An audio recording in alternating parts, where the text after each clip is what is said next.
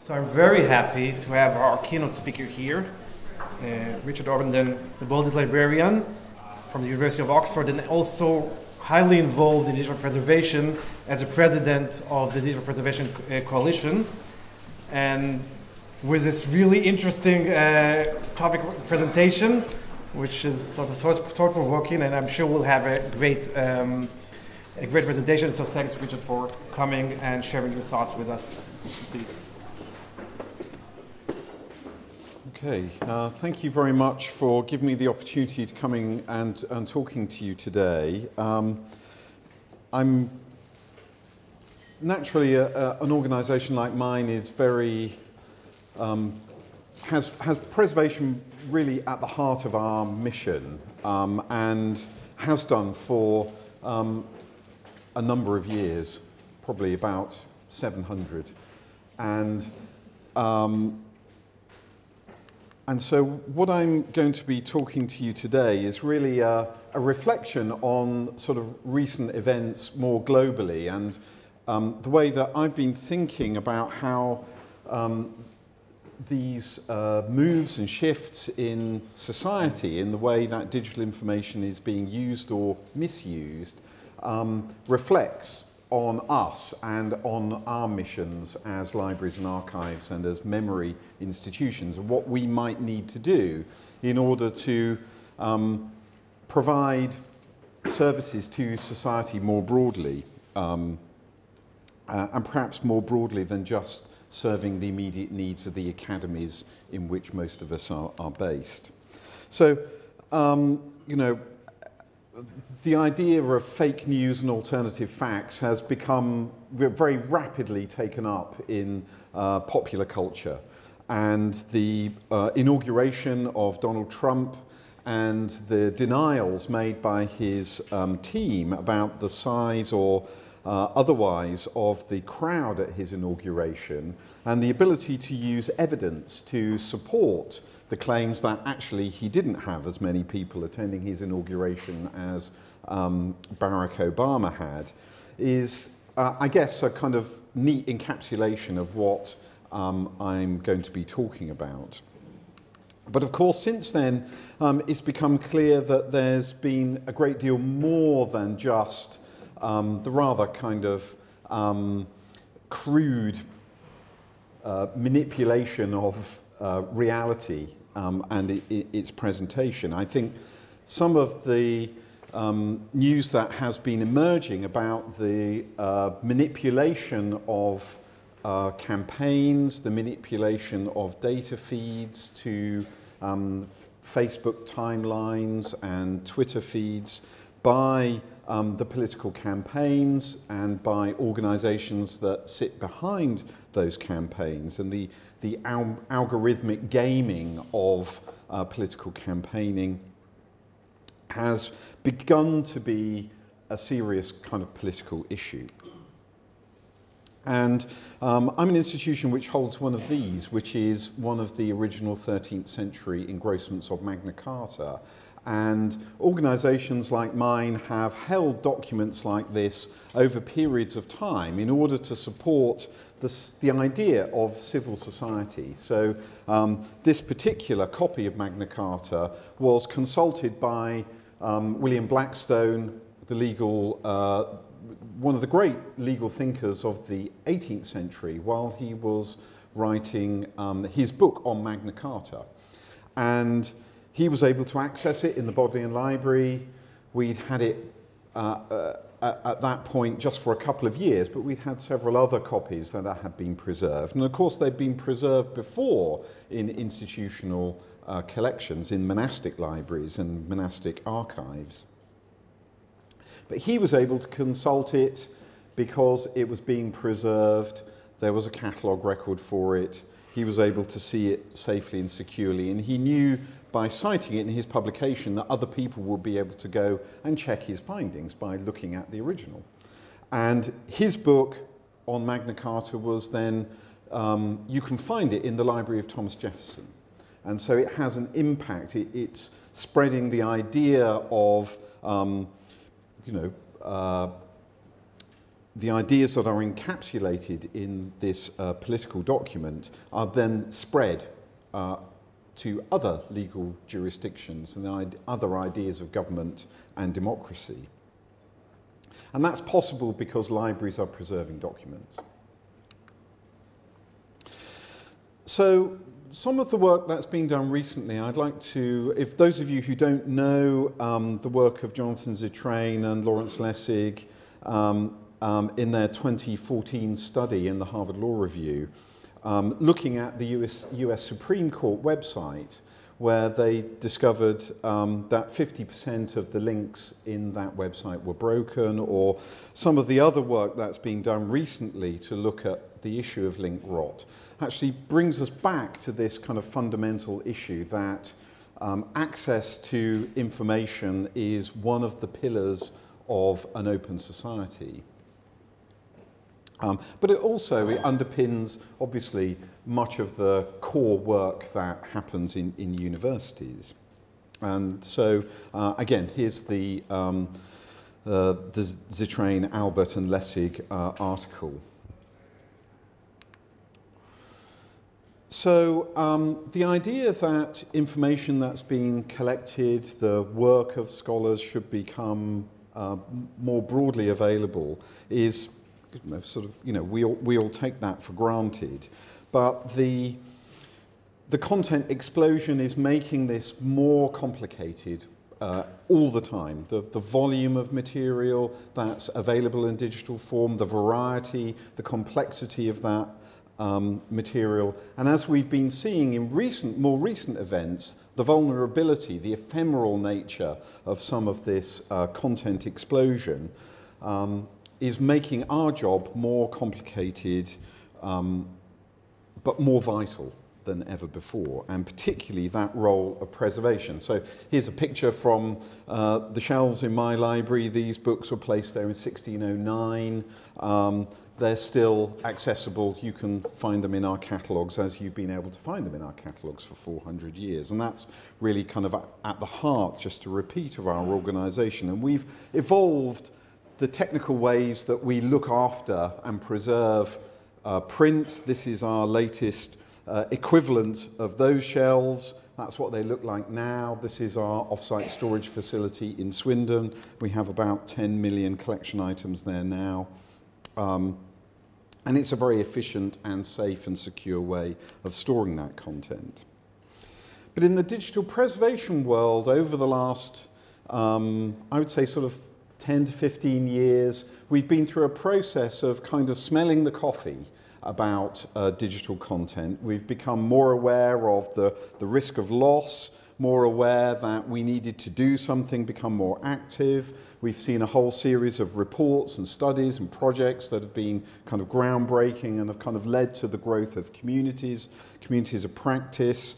We've seen the establishment of standards, and we've seen sort of uh, projects which have helped us um, uh, move on. And I think we're now in a phase of, you know, drinking the coffee. We're actually um, doing sort of real stuff, real collaborative efforts, spending serious money on digital preservation in our communities, developing useful services, uh, tools. You're, you're very much involved in all of this uh, yourselves. And we've begun to be better at organizing ourselves. So um, the DPC, the OPF, you have DEPN in the US.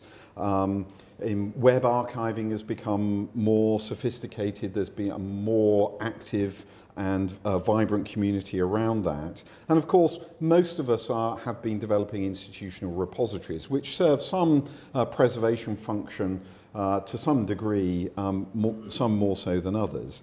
And then we've begun to see also shared ventures like the HathiTrust, where um, we're beginning to sort of pool together um, mass digitized resources. And sometimes I kind of reflect as people say, oh, we don't know, you know, we still don't really know how to do digital preservation. Um, well, I, am just kind of reflecting on our own catalogue. Um, so our catalogue in Oxford has been around now for kind of 30 odd years, um, and we've migrated it from system to system in uh, Ex Libris systems at the moment. Um, and we've been able to kind of steward that data, which is actually a pretty big data set, um, over, over long periods of time and continues to, to make it useful um, uh, over, over reasonably long periods of time. And also we've been digitising collections at Oxford now for um, between 20 and 30 years on, on a reasonably large scale. And I'll come back to this um, later on in my presentation.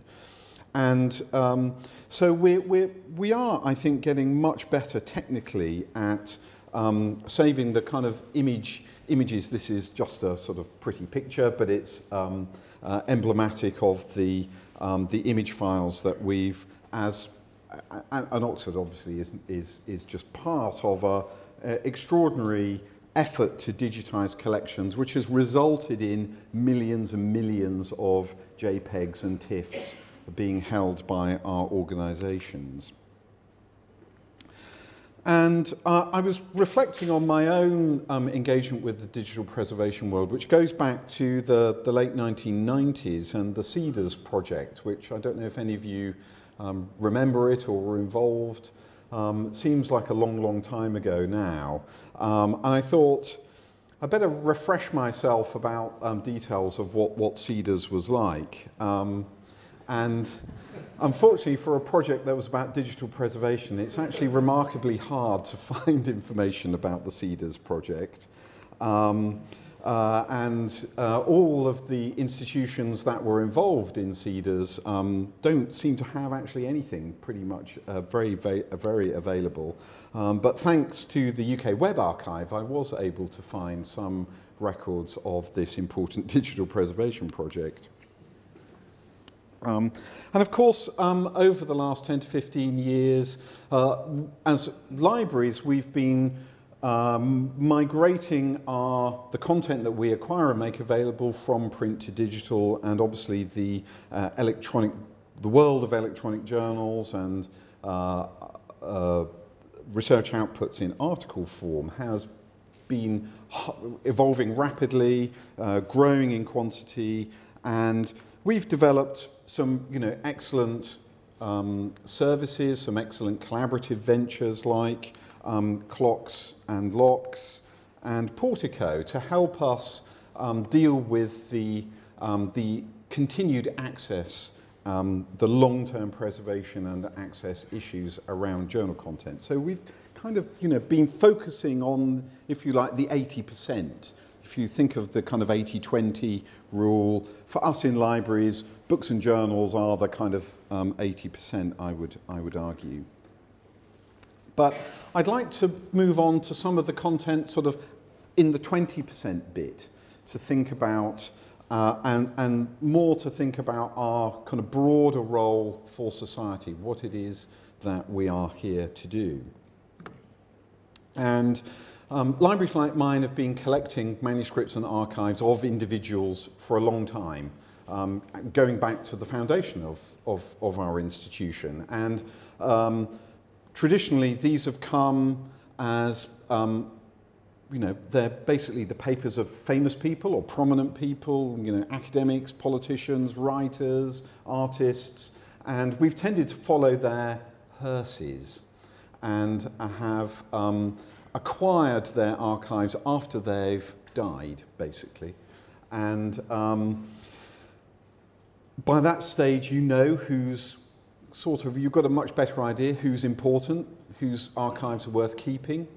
Um, it's all in paper format. It comes, you sort of go and visit someone, and there's a box of their loved ones' archives, boxes in an attic room or a study or in their garage and you come and rescue it and you take it back to the library and you sort through it and you catalogue it and you stick it on the shelf.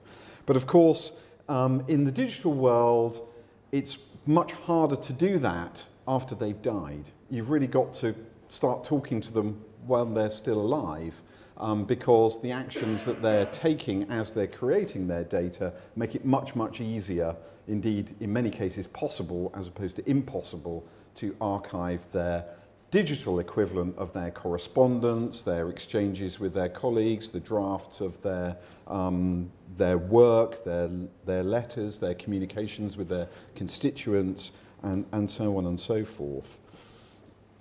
so there's a great deal of um, the need to act much faster, much earlier in, if you like, the life cycle of the creation of this content than, than before.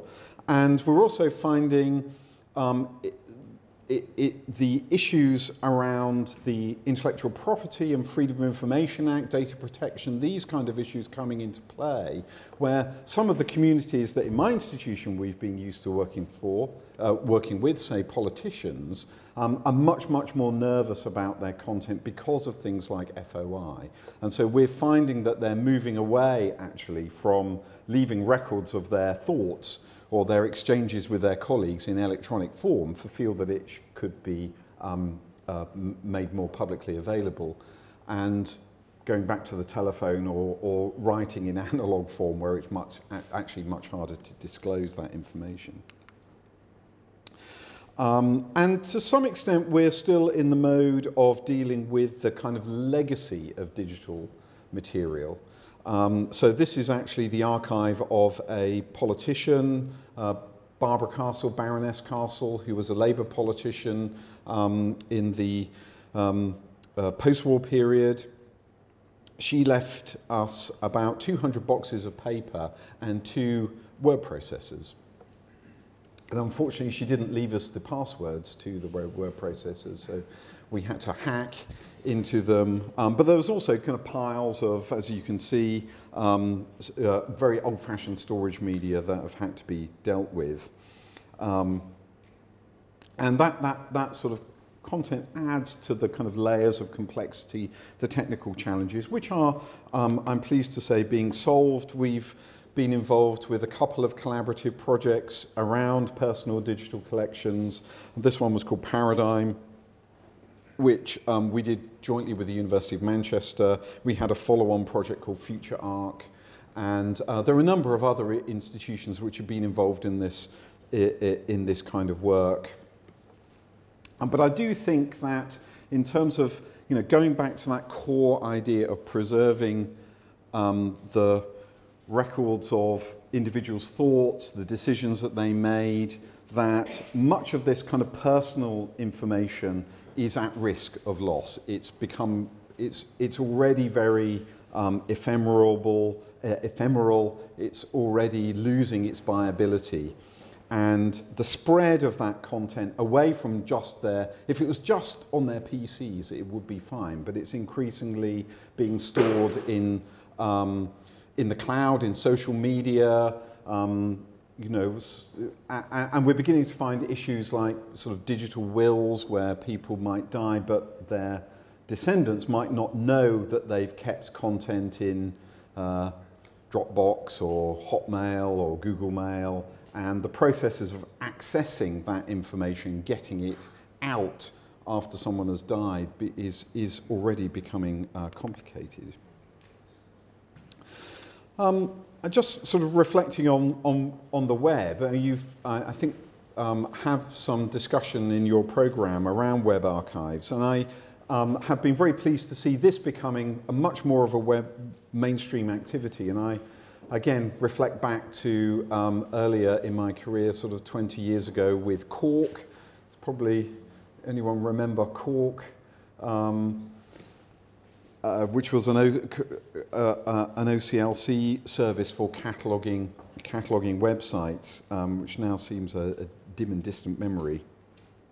Um, and the, the development of tools like the Internet Archive's Archive-It service have greatly um, facilitated this, uh, what I think is one of the kind of key uh, activities of the library sector, or should be, is uh, archiving, archiving the web and um, for, for fairly obvious reasons. And we've certainly been devoting increasing resources to um, archiving websites, both for to continue our, if you, that, our historic mission of where our collections are particularly strong, where we, for a long period of time, have been collecting um, to do with geographic regions or individuals or topics.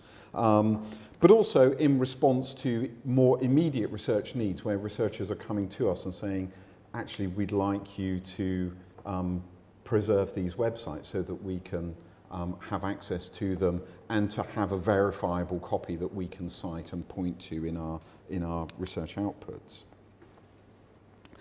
And in the UK, we've been working collaboratively um, with um, in two particular initiatives. One, which I'm sure you're aware of, the UK Web Archive, which is a curated uh, set of around 15,000 websites which originate in the UK. It's been led by the British Library, and we've been adding to that with um, legal deposit. So again, going back to the 80% um, of, if you like, traditional library materials, legal deposit in 2013 changed um, its legal framework to extend to digital publications. Um, but in addition to the kind of traditional publication formats, books and journals, we were able to add into the legislation the uh, legal archiving of the UK web domain. And that is happening on an annual basis now with whole domain crawls. Um, um, we began in 2014. We're currently underway with the 2017 crawl, and that's about 6 billion, that's an archive now of about 6 billion web, web pages. Um, and um, you can see the kind of numbers. And there's a kind of fundamental difference between the two. One is um, selected, highly curated, and um, one is um, mandated by law and is uh, a fairly kind of blunt instrument where the whole of the web is, is crawled, with the exception of a deep dive, uh, um, and I, which I'll come back to in a moment. Um, but you'll, you can see that the accessibility of it, the UK Web Archive, this smaller, very smaller curated set is available on the open web, whereas at the moment legal, the Legal Deposit Archive um, is, uh, because of the, the peculiarities of the legislation of 2013, um, uh, uh, much less accessible and is not available currently on the open web. But you can see from this chart, my colleagues in the British Library have given me this slide, which shows the, um, the vulnerability of um, the, the UK Web Archive content and the, uh, the Legal Deposit Web Archive content. And you can see um, as the time goes back, the, um, the fragility of material on the web and um, the you know, the general kind of comments you still hear in society, well, it's all online, isn't it? So we don't, and I hear this from sort of very bright professors in my own university, um, that it's, it's all online, isn't it? I can find it. We don't need libraries to be doing this kind of work. Well, I think this chart um, shows you just how, how vulnerable the web is, certainly in this country. But it's also um, an interesting way of providing a kind of um, a, a, historical resource. And I'm just going to show you a few slides from the history of the, the Bodleian Library's own website, um, thanks to the, the Wayback Machine. So this is back in 1996. This is shortly after, sorry, 1997, um, shortly after we launched our website, which was the first library website in the UK. And then you can see how it's changed as an organ, you know, both the kind of the look and feel of it, the kind of degree of sophistication, but also the fact that we actually changed our name over that period of time. And that's something which um, many people, if it wasn't for services like this, will probably have forgotten about, or certainly historians in the future will be glad that we were taking a snapshot of our website as part of the institutional record. Um, and it also allows you to take um, archives of more, again, more ephemeral, smaller organisations. The Monster Raving Loony Party, I didn't sort of see them very prominently in the election um, uh, that's just happened. Um, but, you know, these smaller organisations tend to um, only actually leave a trace on the web now. They're, they're, they're not producing print materials um, in the way they might have done a century ago. But also the web has uh, the UK Web Archive work that we've been doing under the legal deposit um, umbrella has given us the opportunity to do more collaborative um, work. This was a project we did um, in 2016 to commemorate the centenary of the Irish Easter Rising. and we did a collaborative project between Trinity Dublin, the British Library, and the Bodleian um, to archive websites that were um, reflecting back over the previous century, um, and uh, both in the UK and in the Republic of Ireland, where incidentally they do not yet have um, the legal framework to do web archiving, and that's something that our colleagues there are working on. So just again, just to reflect back on what's happening at the moment, we have um, this kind of unique collaboration between six libraries um, in four countries with um, two uh, legal jurisdictions, um, and it's a process that goes back to 1610 when legal deposit first began, uh, actually in the Bodleian Library. Um, it changed its, uh, its focus from being purely about print to being um, including digital in 2013. There are four preservation nodes for this content. Um, it is being funded and managed collaboratively across the six institutions um, through a thing called the Legal Deposit Implementation Group.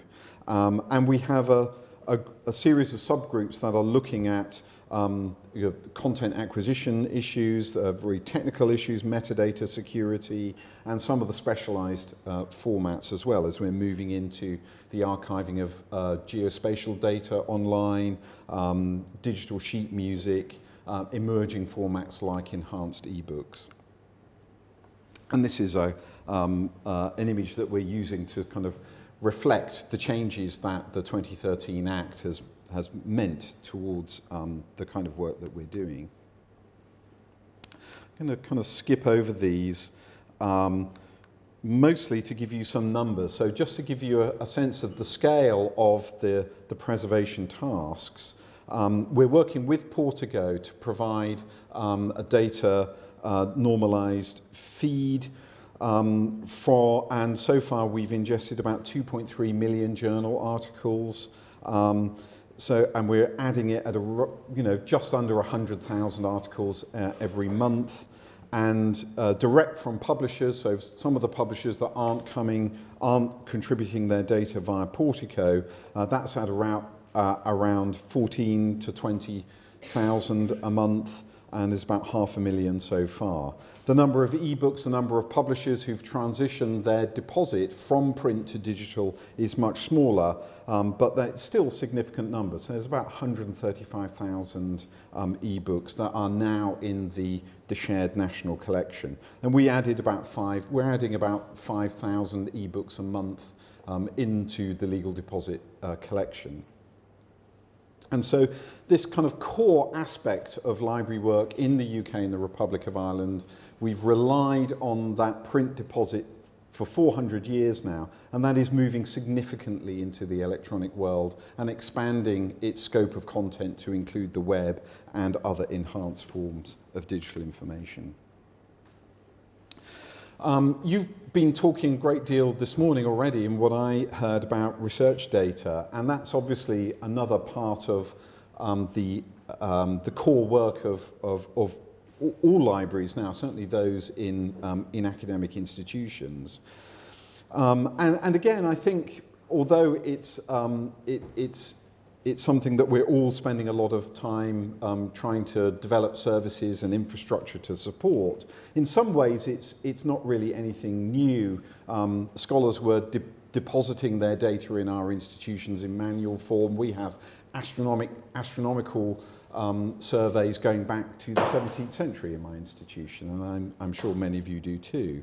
But the funding mandates provided a big game changer in the UK. I think the EPSRC mandate certainly encouraged us to um, stand our research data repository up and to develop a, set, uh, a broad set of supporting services. Um, but one of the interesting things is that from the academics, from the researchers' perspective, long-term preservation isn't high on their agenda. It isn't something which, at the moment, that they're that they feel is at the core of their service. Complying with research funder mandates definitely is. Making their data shareable or being able to link to their research data from their other research outputs certainly is. But the sense of that kind of long-term preservation is, is, I don't think has really been something that the academic community has been uh, terribly concerned about. And I think that's something that does slightly worry me, and I think it's something that we all have a responsibility to do, is to go back to our researchers who are coming to us for research data services to point out to them the benefits of preservation. And I'm beginning to see some of this in the growing concerns over research ethics and the sense of the importance of verifiable research, uh, research data, being able to go and um, go back to scrutinize the, the underlying data that um, appears in many, um, uh, in many research projects. And uh, you're beginning, I'm certainly beginning to notice, this was something I just tore out of the Financial Times a couple of weeks ago, with uh, the sense of um, uh, bad science. I don't know if any of you um, follow um, Ben Goldacre and his uh, Bad Pharma blog. Um, beginnings to be kind of signs that society as a whole has woken up to the sense that um, researchers, particularly in science and medicine, are making claims which are, don't necessarily map onto their findings in their data, and that there's been a number of cases of falsified data, and uh, this has encouraged this new topic of research ethics, um, part of which is about making sure that your data is available for others to check and verify and try to reproduce your results. And certainly that is beginning to be an issue in Oxford, in my institution, where there is uh, a community of practice which is very concerned about research ethics and services like our Research Data Archive um, are beginning to be seen in a, in a, in a different light. And I was just um, interested, this comes from um, the cancer medicine community, which is about um, a slide which I found um, in their community uh, about research ethics and the, you know, the importance of um, uh, you know, reproducible, replicatable research. But you don't see the word preservation in here. And I think sort of the bit that that community is forgetting is it actually needs institutions or organizations to guarantee access over the long term to the data which they are wanting very rightly to become open and, and uh, verifiable by all. And again, I think this is something that we need to do to educate our, our researchers. Um, I'm going to slightly speed up, I think. So one of the other things which continues to worry me, um, again, sort of perhaps in the 20%, um, of, of our work is organisational records. And not only the, our own organisation, so if you like, university archives, um, which are now being created more and more in electronic form, but the records of other organisations. And I guess this is similar to the issues that surround personal digital archives. But um, again, we have a growing range of organizations which are creating their own organizational records. Um, some of them see the business need to keep those for legal and evidential reasons, but they aren't yet seeing the long-term benefits of keeping data um, that they're creating to document their own organizational activities. Um, one of the examples that we're trying to do our little bit to change um, attitudes and change behaviour is with the Oxfam archive. So again, I think, you know, in the last 40, 50 years, we've seen the growth of NGOs, the growth of uh, charitable bodies playing a much more active and much more vital role in public life.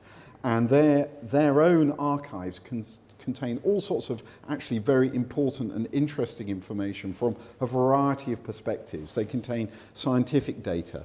They contain um, uh, discussions at a political level or governmental level. They contain legal information.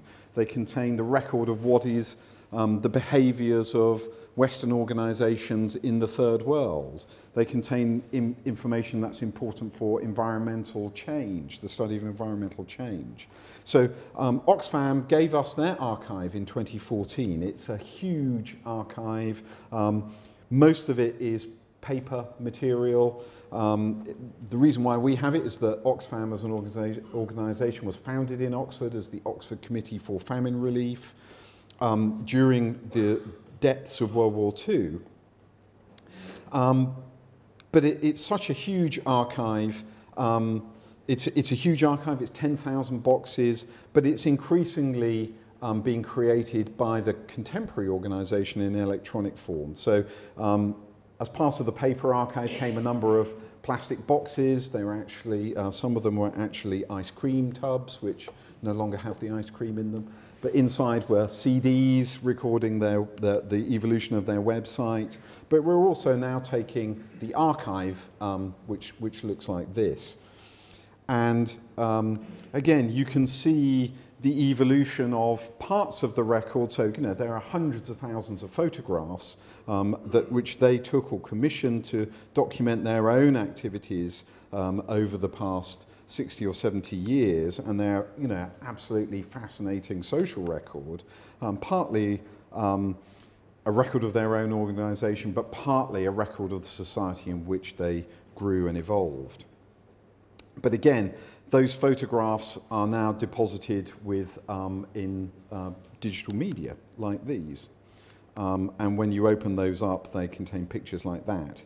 So um, they're an interesting reflection on society. Some of the material in the Oxfam archive is um, you know, very relevant for their own organizational needs, some of it is really very relevant for a, wide variety of research uh, activities as well.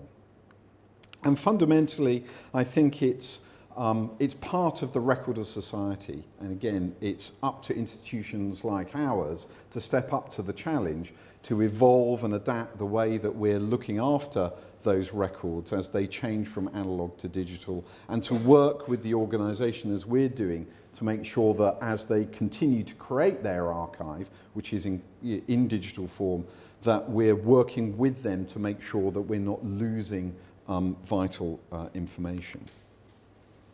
I'd like to reflect for a few minutes on some of the other issues around the kind of breadth of communication towards social media and the rise of um, the continued, inexorable, it seems, rise of social media organizations like Facebook. Um, and um, some, there, is some, there have been some very um, important efforts to try and deal with the archiving of social media. The Library of Congress famously established an arrangement with Twitter, which dealt with the first four years of their existence, um, but there's no, currently no access provided to that uh, service at the Library of Congress, and it's all, certainly looking at their website, it's all gone pretty quiet. I hope there's a lot going on um, under the hood, as it were. But currently, uh, uh, Facebook do not keep their own records, and I'm not aware of any um, institutional library or archive that is doing systematic archiving of Facebook. But certainly, given the kind of information that we were hearing recently about um, Cambridge Analytica's um, uh, algorithmic manipulation of news feeds in Facebook, um, that worries me that we're not keeping that record or that you know, someone isn't keeping that information. And this slide is, is, is about to rather crudely convey another worry that I have, which is about all of the transactional data that is created and collected by the big uh, tech companies and which they actually trade um, your and my transactional data in um, data, uh, data trading exchanges. And it's the kind of data that has here generated in the advertising box um, uh, the fact that the Guardian website thinks I'm going to buy a BMW. I deliberately searched for BMW in order to um, uh, uh, provide my own fake transactional records because I, I, have no intention of buying a BMW. But um, it's just to sort of give you a sense that there's billions of these transactional records are created every single day. Actually, if we were able as um, you know, public organizations to get hold of these or sample them, we would have a particularly interesting record of human behavior. And we might be able to tell, or data scientists in the future might be able to look at these if we were able to organize it um, to provide you know, an interesting view on what, um, what was going on in 2017. Um, but that's a, an enormous challenge, but it's not one that I think that anyone or any organization is really uh, getting a grip of at the moment. Um, so, you know, we, we, we're developing a growing sense of our own capabilities. We're developing, um, as I was saying in earlier slides, a kind of organizational context for doing digital preservation to a higher and higher standard.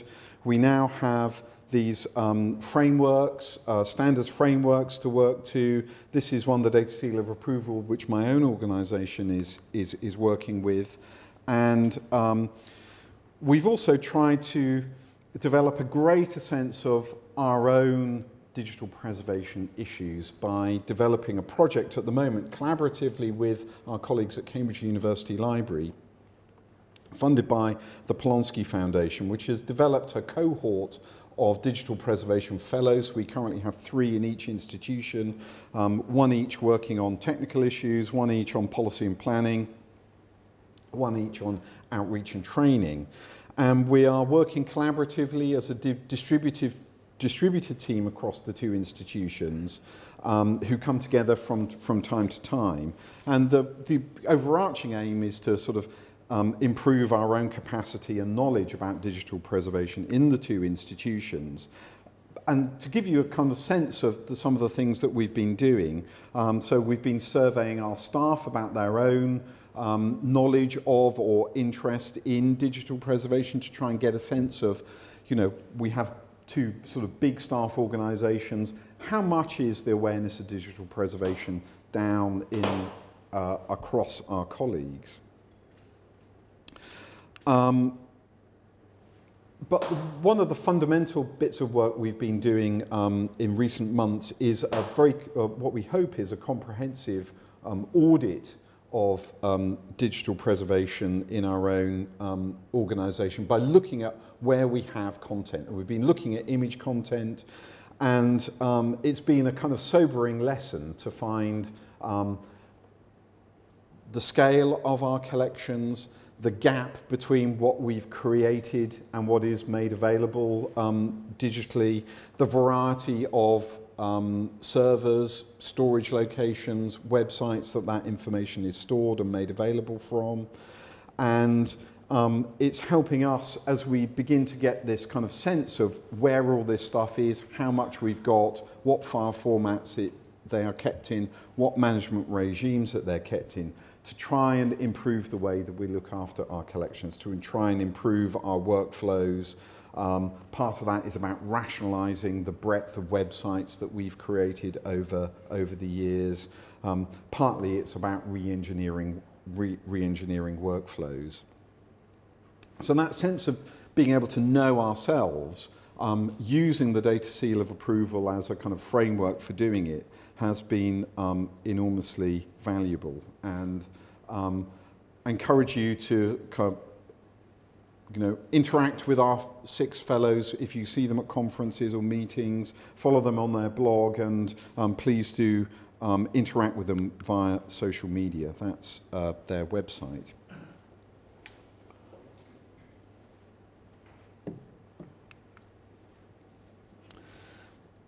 I think we should also be aware that there is competition out there for services which we are currently providing, hoping to provide, aiming and planning to provide. And it worries me that, again, within society, there is an equation between storage and preservation. And these are not the same things, as you all know. Um, but that's not um, to say that generally in society that is well understood. And I think, again, it's part of our responsibility to educate our user communities that these two things are different and that the and to create the kind of services that provide real preservation, real long-term trusted access. And part of that is about education. Um, we, from time to time, have hosted sort of uh, hackathons for very young coders to encourage um, this information, but we're all, all also beginning to in, um, including it in the training of our graduate students and undergraduates as well. Um, and then, of course, there are organisations like the OPF and the Digital Preservation Coalition, the organisation I've been most um, involved with over the last um, 15 or uh, 16 years uh, as a board member and now as its uh, president.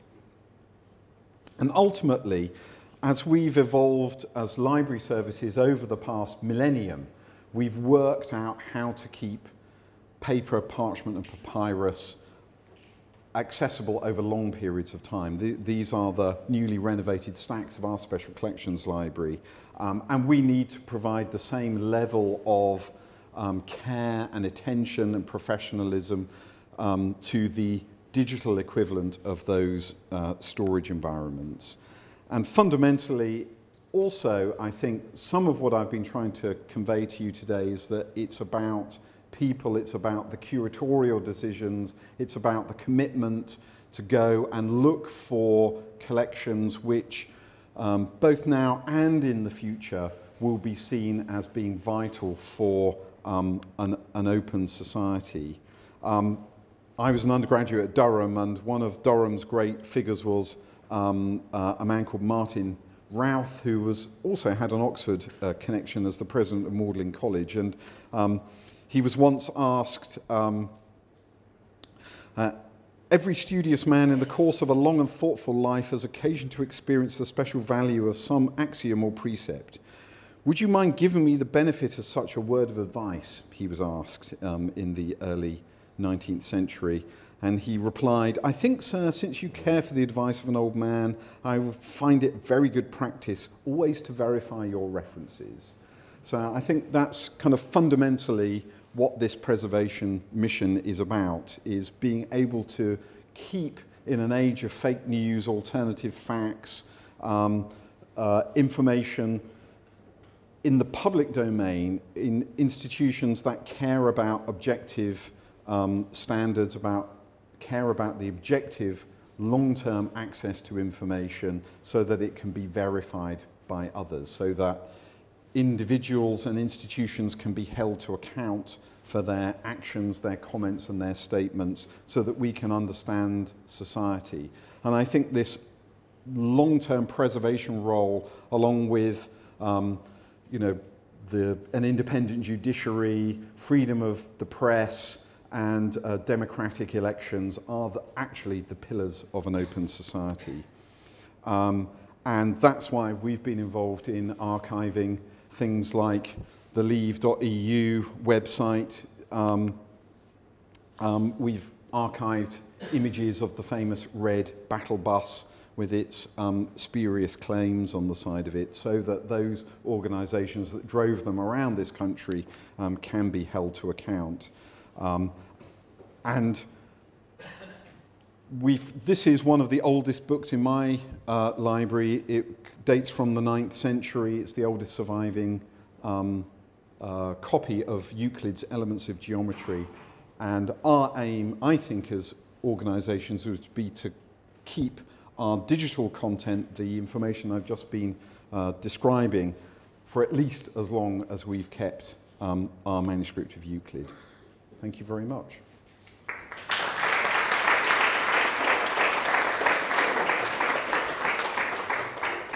Thank you very much. Um, unfortunately, we don't really have time for questions, but I think you'll be staying with us for a couple of hours, so feel free to ask them later on. And also, the people from um, digital preservation, um, people from, from Cambridge, we have two people here, the digital preservation team. Unfortunately, the Oxford people weren't able to make it, but you'll be able to discuss with them. So again, thank you very much, Richard, for the very interesting um, talk. I think that you've articulated clearly some of the challenges we are having here, that different people here in the, this room are having in their institutions, maybe on some of them on a different scale. And in this day, we will be able to um, hear maybe some of the solutions that some of the people here uh, Uh, have implemented their own institutions. And on behalf of Ex Libris and the Rosetta community, I really like to give you just a small present for something small for